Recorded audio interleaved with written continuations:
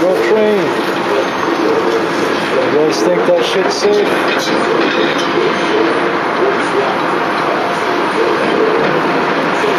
Got about five minutes of rest. This train's gonna move.